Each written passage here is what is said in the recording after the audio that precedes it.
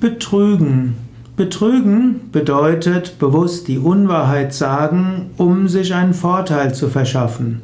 Betrügen kann heißen, etwas vorzutäuschen, was nicht stimmt, um selbst etwas davon zu haben.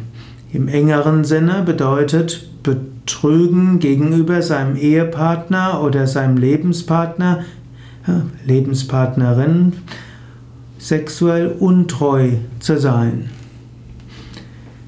Im Yoga ist Asteya und Satya wichtig als Prinzip. Asteya heißt nicht stehlen, Satya heißt Wahrhaftigkeit. Wenn du wahrhaft glücklich sein willst, wenn du höhere Ebenen des Bewusstseins erreichen willst, dann gilt es, wahrhaftig zu sein, dort gilt es nicht zu stehlen. Und in jedem Fall solltest du nicht betrügen.